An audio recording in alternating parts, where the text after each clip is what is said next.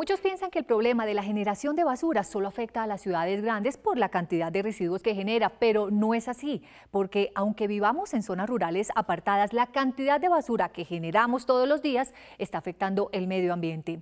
Por eso, en una institución educativa en la vereda de Caguancito, en el municipio de Garzón, en el Huila, crearon un proyecto llamado Las R's, que significa reducir, reutilizar y reciclar. El proyecto busca crear conciencia en los niños y jóvenes para que puedan aprender el manejo de los residuos sólidos y para que también tengan respeto por el medio ambiente y por la comunidad en la que viven. Veamos este interesante proyecto.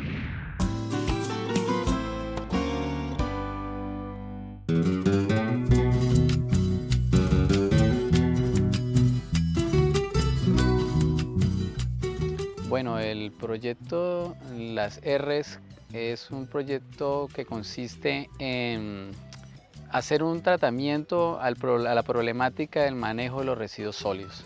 Consideramos que este tipo de problemáticas deben abordarse desde la escuela por esto, porque es el espacio por naturaleza formador. Y en este caso, o, con el enfoque que pretendemos nosotros, un, un espacio formador de buenos ciudadanos y dentro de, ese, dentro de esa concepción que tenemos nosotros de bien buen ciudadano están buenas relaciones con el entorno. Todos sabemos que eh, el plástico es una problemática a nivel mundial, ¿sí? entonces nosotros con el plástico primero que todo queremos es mm, mejorar el medio ambiente con, la recolección del reciclaje y en segundo lugar la, creatividad de los muchachos con las clases de artística y las manualidades. Pues de los residuos que sacamos de la hora de recreo podemos hacer este trabajo que estamos haciendo. Chévere porque, porque nosotros cogemos esa basura para hacer algo como, como bueno con ella para que no contamine nuestro planeta. Hace aproximadamente seis años en cada salón había ubicada canecas.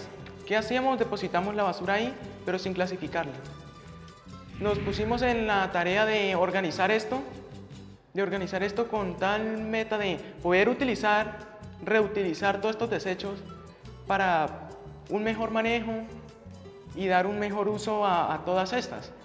Sacamos las canecas, y hemos visto los resultados. Por fuera del aula lo que tenemos es que en los momentos de, los momentos de esparcimiento de los estudiantes hemos dispuesto eh, unas canecas eh, con los respectivos colores en los que corresponden a los diferentes tipos de elementos que se generan en cuanto a los residuos. Este es el procedimiento que llevamos después de sacar las canecas desde los salones. Ya no tenemos ubicadas ya, ahora las tenemos ubicadas en diferentes lugares de toda la institución. En el centro de acopio lo que tenemos es un espacio que hemos, eh, hemos determinado para que allí lleguen los materiales seleccionados, previamente separados. Aquí podemos reciclar todo tipo de residuos, ya que a todo esto le podemos dar una función. El papel, como podemos observar en los trabajos hechos por todos los estudiantes de la institución, el papel, hacemos un procedimiento y elaboramos un mismo material para darle otras funciones.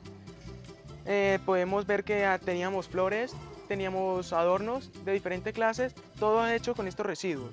El plástico, haciendo el manejo con las máquinas que ya pudimos observar, le podemos dar un muy buen uso. Las botellas y el cartón, que todo esto es aprovechable.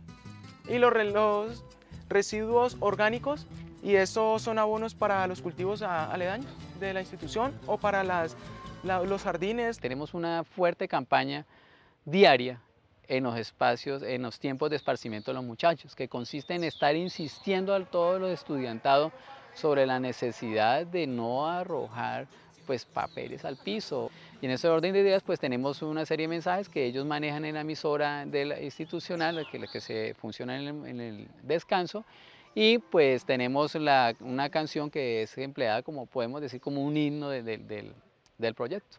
Bueno, esto muchachos, también era para recordarle la campaña que está haciendo el profesor Pavel y, y el del grado 11, sobre todo el, el proyecto de las R, así que por favor colabórenos con eso.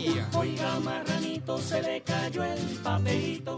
El desarrollo debe ser integral y como docente pues pienso que en ese proceso de formación esa integralidad implica todo este tipo de competencias, y en este caso las ciudadanas. En ese orden de ideas, una formación integral de una, persona se logra en la medida que se puedan desarrollar todo este tipo de situaciones problemáticas con base en el desarrollo de competencias integradas.